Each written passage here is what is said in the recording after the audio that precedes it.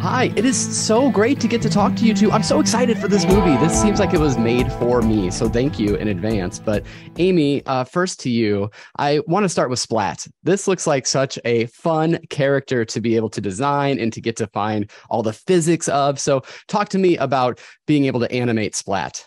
Yes, uh, you were right. Splat is a very fun character. I think when we early on we were seeing the character designs from Jin Kim, and we were like, "Wow, this is so cool! We've never seen a character like this before." But how are we going to animate this? Because it's also very challenging with all the tentacles and uh, little nubbins.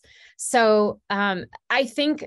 Splat has no face to communicate. So for uh-huh. us, it's really trying to sell a performance um, with body language and things like timing and spacing, and people coming up, artists coming up with really imaginative choices on how to sell what Splat is trying to communicate in a moment. So we were often laughing quite a lot on this film because animators were coming uh, coming up with such entertaining choices for Splat.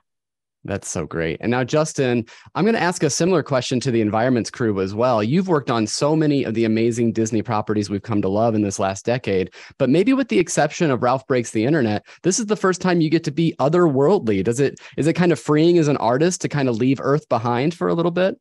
Sure. I mean, I think one of the things that we we've talked about a lot is that, especially in our last, I don't know, last 10 years of films, we're we're spending huge amounts of time researching. We're talking to all of these experts about um, cultures and and all the specific things that we're trying to represent. And you can't really do much of that for this film. I mean, we t- we talked to a whole bunch of experts about um, different ideas and different things that we were pulling from, but there's not specific reference for a lot of a lot of these things. And I think what's really exciting as an animator is we like challenges. We like trying to communicate things in a difficult way. We like the fact that there's a whole world of creatures that don't have faces and we don't know how they're supposed to move and we can do whatever we want. Um, and so for us, it's really fun to be able to look at these things and go, well, there's not a correct answer for this. So mm-hmm. I'm just going to do the thing that I think is fun and weird and makes sense for this moment. Um, and and hope it flies. And there was a lot of stuff that flew on this movie that uh, we were surprised. Everyone was like, "Yeah, it's awesome. Let's do it." That's I can't wait to see it on the screen. Now, Amy, same question to you. Is it kind of freeing as an artist in this way, much like Justin just mentioned? Oh, totally. Yeah. We've been part of so many films that are very grounded in, you know, research, like Justin was just saying. And I think being a part of a world that is such imagination um, and working with Don and Qui, our directors, Justin and I have worked with them before. Um, they're very trusting of our team. And they were saying to Justin and I up front, we want to really have fun with the animation on this show. And what I love about working with them is the trust that they put into our team and our group of animators. It really makes it feel like um, the artists are bringing something to the table and they're really getting to own um, what they bring, whether it's a performance, of course, as as long as it's serving the story. But they're really great at um, letting people come up with with their ideas to put into the scene which is really cool but yeah i think this this film was it was definitely challenging because a lot of times you're starting with with you know a blank piece of paper because there isn't we're so used to looking at research and reference on how something might move so uh, this was a lot more ima- imaginative and creative choices than I think uh, we usually do. And from your blank piece of paper and imagination to a bunch of kids' uh, bedrooms and everything else in the future, that's just such a, a, really cool thing that you bring to life through your art. So I'm going to stick with you for just a second here, Amy. But at the press event earlier this week, you mentioned that you would say that this film has a modern Disney performance with a post post war approach. And I'm wondering if you could kind of elaborate that for our listeners. Yeah, Justin early Justin and I very early on, we were meeting with our supervising team uh, for like six months talking about the animation style for this film. And we were uh, looking through those films that you were just mentioning, things like Peter Pan, Sleeping Beauty. And I remember looking at a lot of uh, Captain Hook in Smee scenes, and animation is 24 frames for every one second. And so, if you just step through and see the choices that those animators are coming up with, um, we're very pose based and coming up with interesting poses. And the way you get from one pose to the next, they were making really interesting choices back then, things that we'll call like shape change and even timing and spacing. Um, and then also the more modern films, we looked at a lot of Treasure Planet uh, work with Silver and Doppler because um, we're always inspired by Glen Keane is an incredible animator, Sergio mm-hmm. Pablos, um, and many of the others. But what they're getting in in that film is a lot of that push caricature, but there's a lot of really nuanced performances in that film where you really have to sell that emotion. And we thought that they were handling that really well. So dissecting what we really loved about those scenes and trying to find ways to bring that into the animation for our film. And we were inspired by Jin Kim's character designs because had his character designs been more um, of that naturalistic feel, I don't think we would have been able to push the style in the way that we did.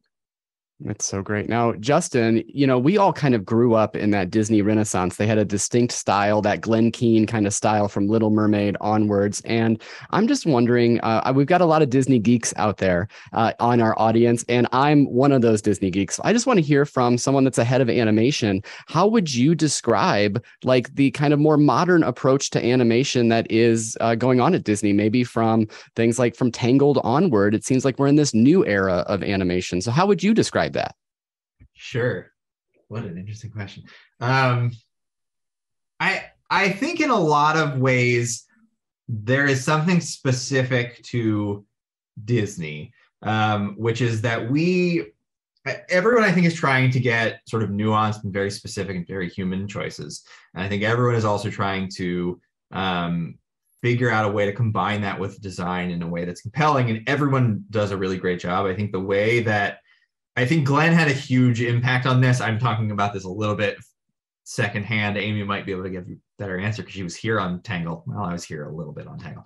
Um, but uh, I think Glen's influence on Tangled, I think, really set up a world where um, we were trying to break out of the constraints of CG and that we were trying to think about things in a more 2D way and think about how you design shapes as they move in a way that CG doesn't necessarily lend itself to because eh, when you make a model and you make a rig, the answer is there for you in every angle. But when you're turning a character in 2D, you're kind of solving that problem again every time to make it the best answer for um, for that angle, and that does not come without a lot of work in CG. And so I think what what Glen really brought to um, the current era of of Disney animation is just this idea of like we want all of that anatomy, we want all of that detail, and we want all of that sincerity, and we want all of that realism, but we want really want to be thoughtful about how we're moving it and how we're posing it and how we're designing it on every single frame um, to get something that has all of that gravitas and all of the the naturalism and all of the observation to it but is is curated in a way that's like that's what animation is about animation is about mm-hmm. like taking life and curating it to the point where um, you've told this story as simply and as beautifully as you can using every drawing that you get for each frame of that second or two seconds or the whole movie that's that's wonderful. Amy, did you have a follow up to that too? Kind of how you would describe sort of this more modern approach to animation from Disney? I mean, Justin put it so well, but I going back to working with Glen on Tangled, I I do feel like that was kind of the start of it. And when I look at my own work as an animator, uh, before getting the chance to work with Glen, my work took such a huge leap forward because of the things that Justin is mentioning with really designing those poses. And every pose should tell a story or have a thought in them. And Glen and the directors, uh, Nathan and Byron, were so great at what is the character thinking at any moment and any mm-hmm. frame and really getting into that with animation um, you know with the computer it's very easy to just have a character constantly moving and over gesturing and it was getting into the simplicity of what is this shot trying to tell and minimizing all of that move- movement because you need to be usually it's like what is the character thinking and what's happening inside their head and you're selling that oftentimes with very nuanced performance choices that are happening in your face and, and body language, of course. Well, thank you both for that uh, look into the geekiness of the creator studio in there. I really appreciate that. Now, Amy, uh, it was mentioned, speaking of legends of 2D animation, uh, it was mentioned that there is a dog in this movie. It's going to be one that we all come to love, named yeah. Legend. And I'm wondering if you could tell my listeners a bit about the story uh, behind the naming of Legend. Yeah uh, legend. Uh, so there's a story artist named Burny Mattinson who's been at the studio for 60 plus years. And Don was mentioning how he has worked with Burny on so many of his films. And at one point, uh, Burny said, Don, you really need to have a character that's going to ground this film. So uh, you should think about putting a dog in this film. So uh, Don and Queen, the story artist, talked about that idea and that's how legend came to be. And because burny's legacy um, they would always call bernie legend. And so that's why they named uh, the dog in our film legend. And legend is a scene stealer. I think we all love legend so much. He's just a happy dog and he's a dog. Uh, he doesn't necessarily have you know all these thoughts and feelings other than what a dog would have. He's happy all the time even in uh, crises when the other characters are running for their lives. Legends just like wow we're you know running on these cool creatures or whatever's happening in that moment. So that's so great. Now I'm going to try to sneak in a couple more questions. My time is fleeting, but Justin, uh, can you talk about uh, how you go about adjusting the animation style to any uh, areas of the voice acting that comes along with this? We got a great cast in Jake Gyllenhaal and Gabrielle Union, and of course Dennis Quaid, and I mean the list goes on. But uh, I know like when they were doing Pink, uh, Pocahontas, they would actually kind of use some live action models to f- feature the animation as well. I'm just wondering uh, if there's adjustments that are made throughout the process of animation due to the actors as well. Sure. Yeah. I mean, a, a lot of times we will, the characters in a lot of cases have been designed before before people are cast.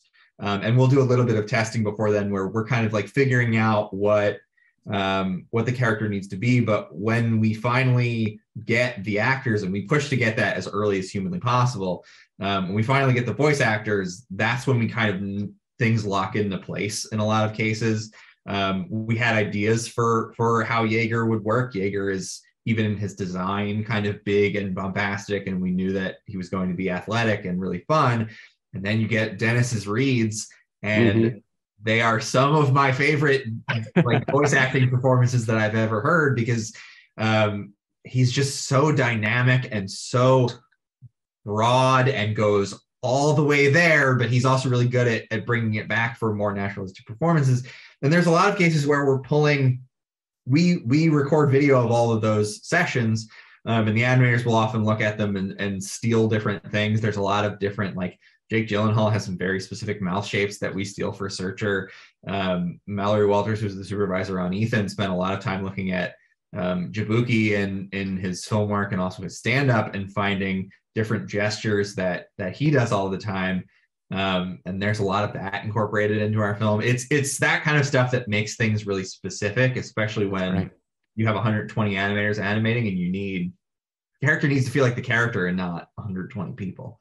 Absolutely. This is my last question. It's been so great to get to talk to you. And before I say my last question, just thank you for the art and creativity that you put into the world because honestly, it just it means a lot to a lot of people. So thank you for all that you do. But my last question is a fun one. I'm going to ask everybody I talk to today. What is your favorite adventure story? It could be a novel, could be a movie, TV show, whatever. And uh, Justin, you look like you're terrified to answer that. So I'm going to go to Amy first. oh my gosh. Uh, my favorite adventure story. Gosh, this is such a good question that I have never been asked. Um, I do have an answer if you want me to go. First. Okay, go I ahead, do, Justin. Yeah. I don't. I don't know that this is the kind of movie that uh, inspires this film, but one of my favorite films, and I, for some reason, I don't watch a lot of movies more than once, but uh, the Coen Brothers True Grit, I've seen. Oh so yes. Times. I love that movie. It's so it's so great to watch. I love I mean, I love the Coen Brothers aesthetic, but it's such fun performances. It's a great movie. Jeff Bridges is amazing in it, and then the, the, just those new westerns. Even 310 to Yuma is a great new, more modern take on a western. So, all right, Amy, you're up. I only have a couple seconds left too, so I I need to get an answer from you. I know, and I don't feel like I. Ha- I'm like, okay, what's an adventure? I mean, obviously, I know what an adventure story is, but uh, I'm thinking through all my favorite films, and none of them are adventures. Uh, I don't know. no worries. Maybe sometime you can come back on my show, and uh, we'll talk about it then. Okay, but yeah. but really, truly, thank you both so much for all you do, and thank you for your time today. Yeah, thank you so much.